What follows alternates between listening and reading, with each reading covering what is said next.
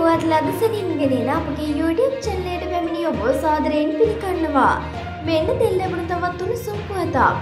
HIV නවාසාතිතයන් වාර්තා වීම සියයට දාහතරකින් පමණ ඉහළ ගොස් ඇති බව ජාතික ලිංගාශ්‍රිත රෝග හා ඒඩ්ස් මර්ධන වැඩසටහන පවසනවා. දෙදස් විසි දෙක වසරට සාපේක්ෂව දෙදස් විසිතුන වසරේදී HIV නවාසිදයන් සියට එක් දාහතරේ දශමතිනක වර්ධනයක් පෙන්නුම් කරන බව එහි අධ්‍යක්ෂක ප්‍රදා වෛද්‍ය විශේෂඥ වෛද්‍ය ජානකි විධානපතින මාත්‍යය සඳහන් කළා. පසුගිය වසරේදී නව HIV ආසාදිතයන් හයසිය අනු හතර දෙනෙකු හඳුනාගෙන ඇති අතර ඉන් වැඩි දෙනෙකු පිරිමි පුද්ගලයන් වෙනවා.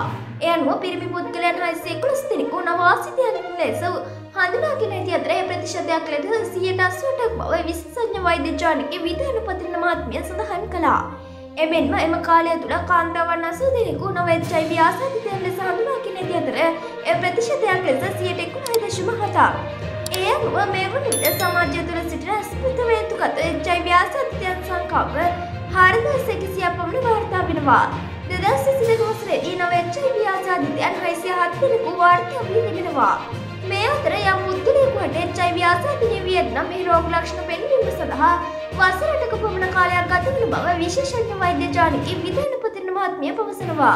එම නිසා HIV රෝග ලක්ෂණ හා සමාන අවදානම් හැසිරීමක් පෙන්නුම් කරන්නේ නම් HIV පරීක්ෂාවක් සිදු කිරීම අත්‍යවශ්‍ය කරුණා බවත් ඒ සඳහා වැඩපිළිවෙළ රැසක් ආරම්භ කර ඇති බවත් විශේෂඥ වෛද්‍ය ජානකී විධානපතින මහත්මිය වැඩිදුරටත් පවසුවා. මෙවැනි උණුසුම් පුවත් ලදසනින් දැනගැනීම සඳහා ඔබගේ YouTube චැනලය සබස්ක්‍රයිබ් කර බෙල් අයිකනය ප්‍රයත්න කරන්න.